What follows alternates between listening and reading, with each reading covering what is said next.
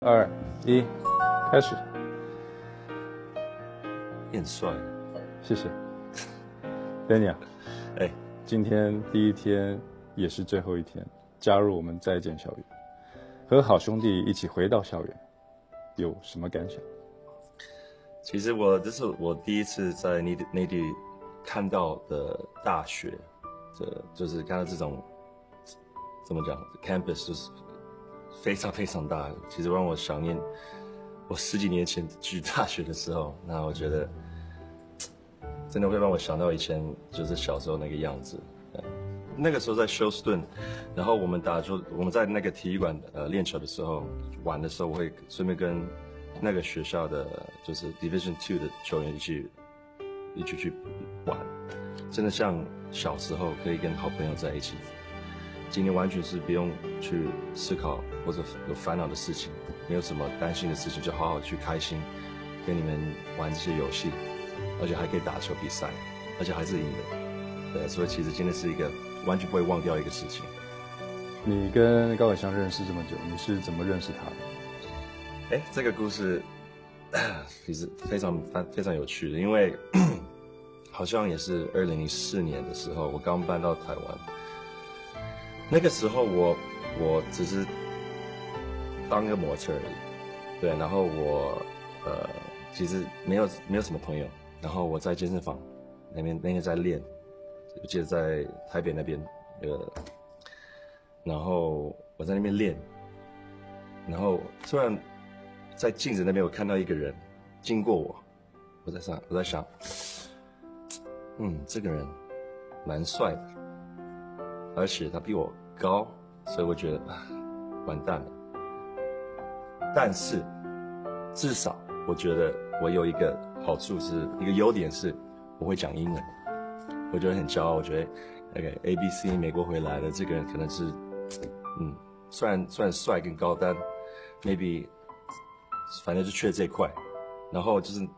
过了不不不不不知道多少时间，我们就我们就是在那个酒吧认识，对不对？然后他跟另外一个我的以前那个大学同事就是在一起，然后我也看到他，他看到我一样，他们就过来了。我先跟我的朋友 James 打个招呼，我说 Hey James，我知道，因为那个时候我其实我中文不好，其实我现在中文也不太好，但是我比以前好很多。然后我就说 Hey James，What's up？You know，and then 就介绍，他就介绍 Garfield 给我，Garfield 就说 Hey What's up man？就讲全部英文，我说妈呀，我全部都输了。但我觉得那个时候见到是，就是因为都是一样从美国回来的，所以那个感觉就是真的很像，就是小时候长大的朋友。那你这个故事你应该听到很多次的吧？对不对，蛮多次的。那你记不记得呃，第一次第一份工作呃呃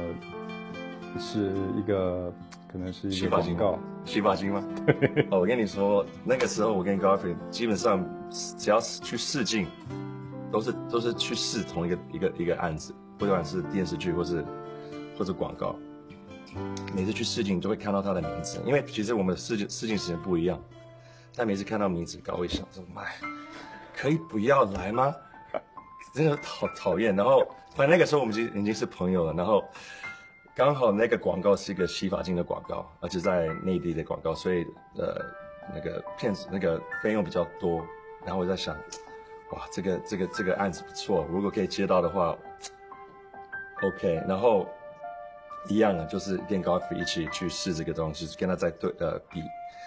然后那天那个试镜的人公司打过来打打给我们公司说，剩下那个那个怎么讲，就是他们选到两个人，我跟 Godfrey。然后我我那天就打给高伟翔说，哎，你现在人不在台湾，你在加拿大，如果你不回来的话，我就被选到。然后然后他就说，哦是这样啊，他隔天就回来了。然后我就说啊，好吧，那广告给他，但我们那那个那天有赌说，如果谁谁谁接到这个广告，就要请别人，就是请对方吃饭。然后后来他他请他，反正广告拿到了，然后他他就请我吃一个很很贵的一个饭，香槟啦，香槟，那一瓶好像是六千块人民币。我们就说 这个是我们一辈子那个时候啦，就觉得哎，我们付不起这个这个这个香槟，那还是要庆祝一下。然后他真的是从从韩国回来拍完这个广告之后，就买了一瓶，